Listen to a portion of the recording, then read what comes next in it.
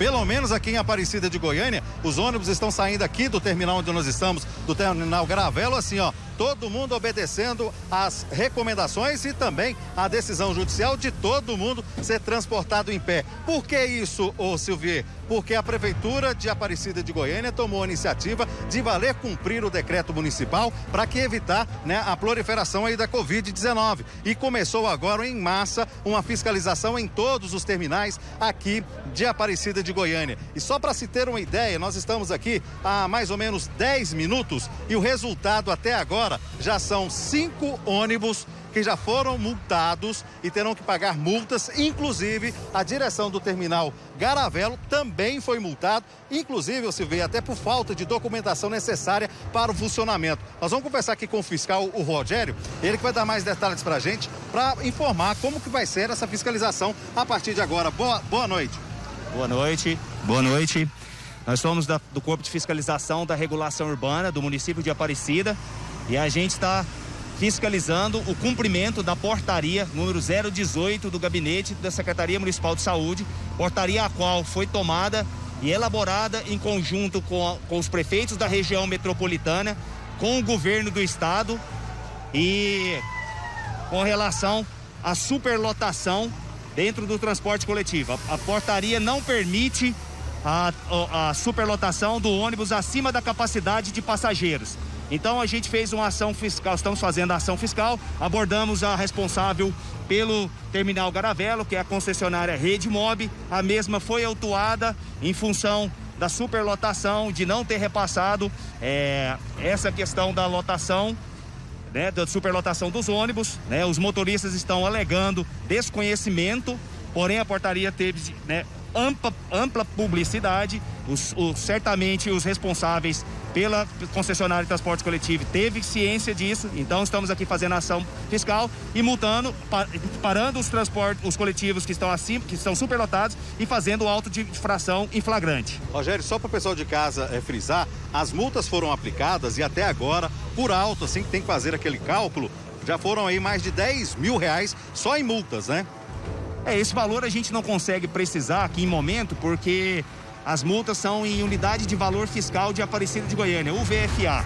Inclusive, uma das multas que foi aplicada por não pelo terminal, a concessionária do terminal, não portar é, alvará de localização e funcionamento exigido pelo uso do solo no local. Esse, essa multa é do valor de 100% do valor da taxa de licenciamento devida.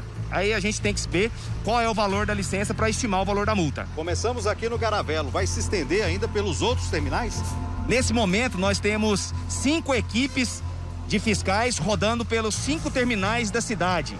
Então, essa ação está acontecendo simultaneamente em todos os terminais da cidade. O Douglas. e esta fiscalização ganhou inclusive a aprovação aqui de quem utiliza o transporte público. Gostou de todo mundo sentado aí? Ficou melhor?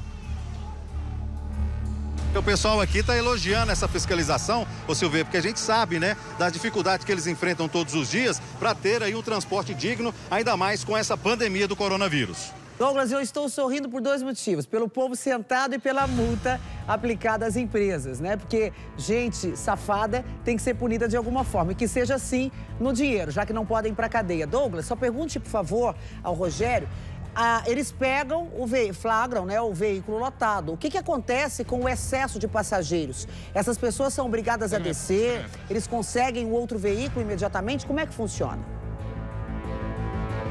Vou te mostrar agora, Silvio, o que acontece. Olha aqui, esse veículo acabou de parar, tá indo ali pelo residencial Del Fiore, né? Tá aqui saindo do terminal Gravelo. O pessoal vai ser obrigado a sair do veículo, voltar para o terminal para aguardar uma, um novo ônibus para que eles possam seguir viagem. Né? Estou procurando aqui o Rogério para que ele venha aqui conversar com a gente e continuar essa situação. O que, é que foi? Ah, eles querem que a gente desce, beleza, a gente pode até descer, mas bota outro ônibus para nós, entendeu? É para andar só sentado, vamos fiscalizar todos os terminais, porque só tem fiscalização no terminal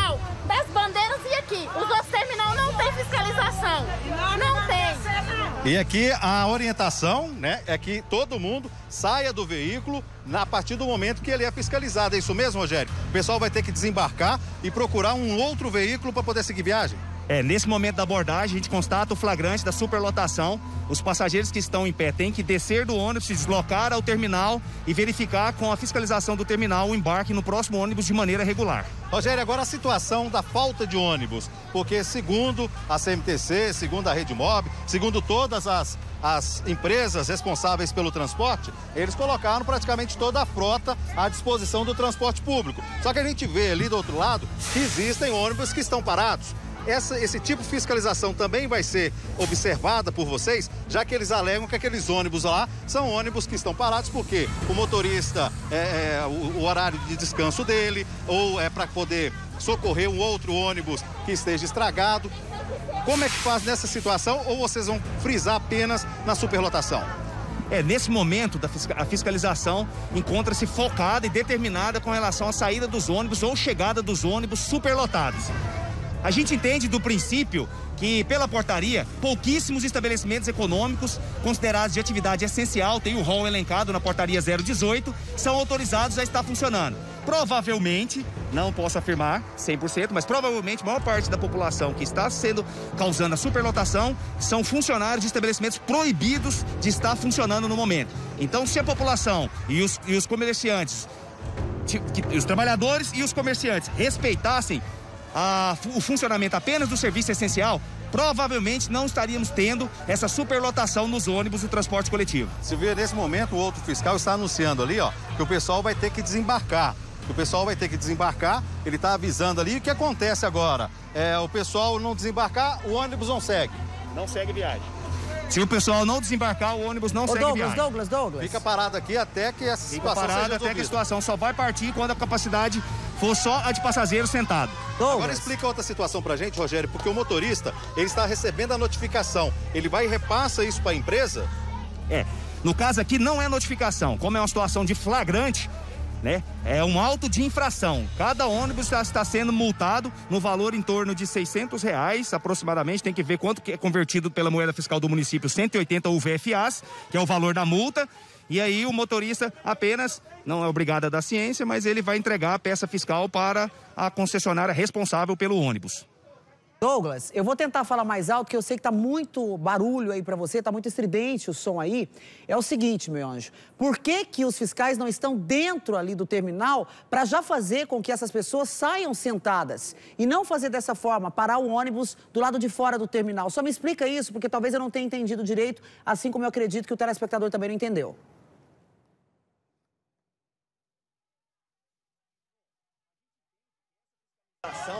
Para que não saia lotado é de responsabilidade da concessionária que tem a concessão do terminal. O nosso trabalho é pegar o flagrante se essas concessionárias estão cumprindo ou não. Então a gente fica aqui na entrada ou na saída para constatar o flagrante. É o famoso vista grossa, para saber se a, as, as, empresas e também a, os responsáveis em fiscalizar estão cumprindo com as determinações. Eu não diria nem a palavra vista grossa. As concessionárias já têm, as concessionárias já têm ciência da portaria. A portaria foi bastante, né, amplamente publi, pub, é, tomada de publicidade.